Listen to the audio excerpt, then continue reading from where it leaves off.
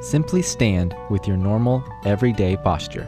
If you are wearing a properly fitting shirt, place the tip of the measurement tape at the shoulder and armhole seam. Extend the tape across your back along your trapezoids to the opposite shoulder joint.